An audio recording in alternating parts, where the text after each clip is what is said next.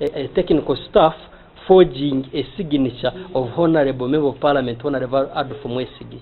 Meaning a lot of forgeries were done. If Honorable Adolf had not written uh, to CAO and given the select committee a copy, we wouldn't know that they forged a, a signature of Honorable Adolf, who is the Minister of Defense and Veteran Affairs. As a council, we also condemn executive because the executive, this is a, a committee that would supervise in the absence of all councillors, but it is unfortunate there are some other happenings where the executive was also avoided. For us, we are not like the final people or the appointing authorities.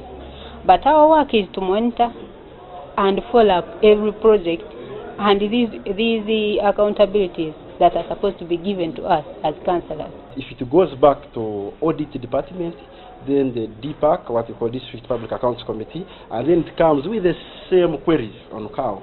As a mass you will have to refund that money. If not, even be arrested. If uh, police does not quicken the process of really ensuring we, we, we put these culprits to book, we shall invite the, the, the anti-corruption, the State House anti-corruption team to come and, and, and, and help us.